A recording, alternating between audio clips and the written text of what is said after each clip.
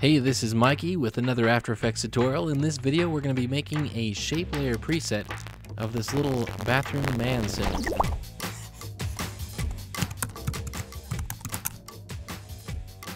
I always find myself using this symbol quite a bit, and every time I do, I always have to go and search for it and find it and bring it in here. And it's about time I just turn this into a preset so I don't have to worry about it again. And I we can do this with shape layers and add some cool functionality to it. I've also made this as a preset that you can download. It's a free download. There's a link in the description or you can click on the annotation if you're on uh, YouTube desktop. So what it is, is I can come in here. I can switch between if it's a man or a woman. I can change the color uh, the stroke and the stroke size and things like that. And I'm actually going to add some more in this video um, to this preset that is the one that you'll be able to download more than I have here.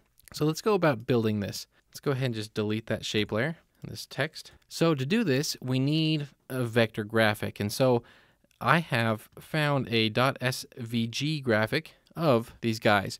And this is in Illustrator. And what you can do in Illustrator is you can copy these paths and paste them into After Effects. So I just need to go in here. I'm going to right click, isolate the selected group, and just select the one or the other. Let's start with the female sign, hit copy, and then we just go back over to After Effects. Let's create a new shape layer because that's what we're going to be applying it to. And if I hit paste, well, it does nothing. But if we look in here, you can see that there is now a mask. Mask one and two, that's the head and the body. So we need to come into these contents and let's add a couple of things. Let's first add a group call this woman. And in that group, we're going to add a path, a fill, and a stroke. And let's duplicate that group and call the other one man. So let's go into that path. We're going to have to duplicate that path. We want two paths. Forgot to do that on this one too. So two paths, a stroke, and a fill. So let's go down to the mask, highlight the path. There's no keyframes or anything, but there's still data there. Copy it, paste, and let's go to the other mask, copy, paste. Now let's go over and let's grab the man, copy it, highlight the layer. Let's delete these old masks. Highlight the layer, paste on these masks, and then let's go ahead and just hide that woman layer, that group. Let's take this path, copy it, and that's looking like that's the body so I'm going to want to switch these around because I want the head on top. And then go to mask 2 copy it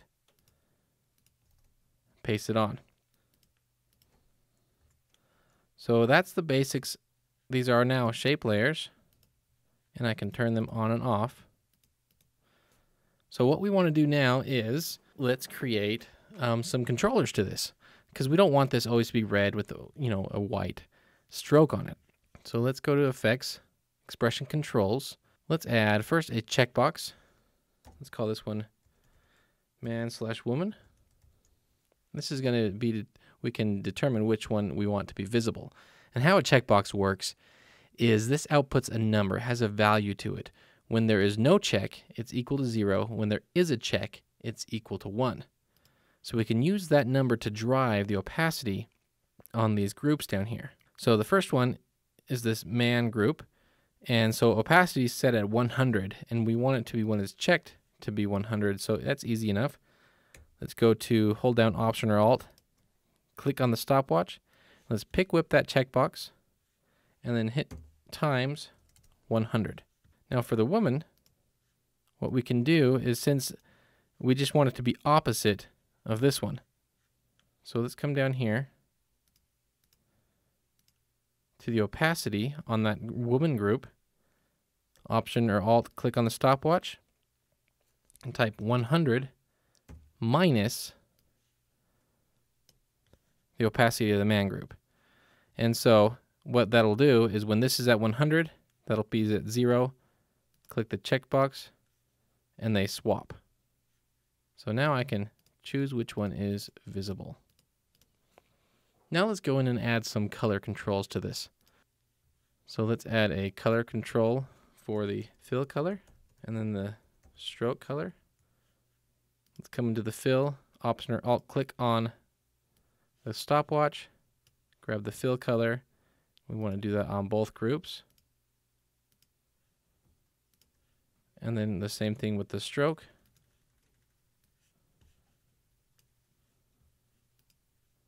Okay, let's go ahead and change these colors. Let's have the stroke black. Let's make the fill color white. Now let's add another couple of things. Let's add, we can change the opacity on the fill and let's change the width of the stroke. So let's go to Effect, Expression Controls, and add a slider. Fill opacity. Let's bring it up here next to the fill so they're next to each other. And let's duplicate it, bring that down, and let's call this stroke width. Let's set this right now to 100 and the width to 10. So then let's get back down here to the contents and under the stroke, option click on the stopwatch, grab the stroke width, and then same thing on the woman layer.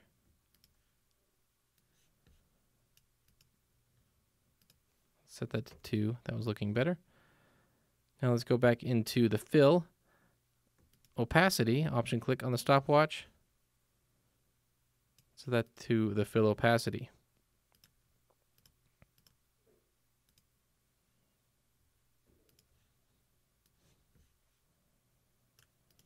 And now we can change the opacity. That looks pretty cool.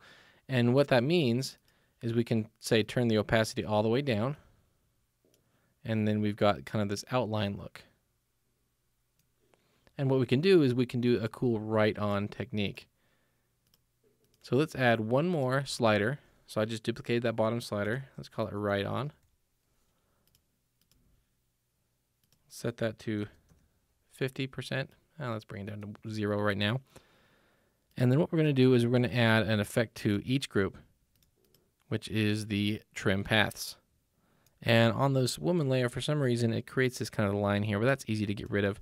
We also want to decide where we want this to start writing on. So I'm going to hit 99% on the end, and it creates kind of this break. And so then I can move my offset till right up here in the middle where I want it. And then you can see it writes on. And if I switch this from simultaneous to individual, well, then it'll kind of do one at a time. Then we just pick whip. So we use a, an expression option, alt click on the stopwatch, pick whip to the write on slider. Let's duplicate that, stick it into the man group. And so then we've got write on for the woman. And with the man, we probably want it to be in a different spot. So let's go into that man group and all we have to do is just change where that offset is. That looks good right there. And then there we go. So that is the preset. So how do we save this as a preset with shape layers? And it's really simple. You just want to make sure you have your content right here, contents and effects. Both of these I want to have highlighted Let's go to animation, save animation preset, give it a name, and then now when we search over here, we can find the preset. And how an, a shape layer preset works is I can go ahead and just delete this. And you can either go up, create a new shape layer, and then apply it to it. But the easiest way is just to take that preset, double click on it, and it'll create the shape layer, and it'll add all this to it. So there is our preset.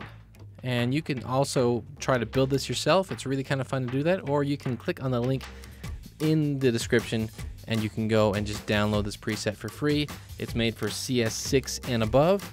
So thank you so much for watching. Hopefully you learned some cool stuff about presets, shape layers, and a little bit about expressions.